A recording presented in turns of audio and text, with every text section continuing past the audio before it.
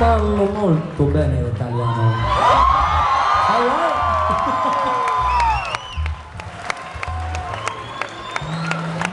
and therefore I speak in English to you. Don't worry, it's better.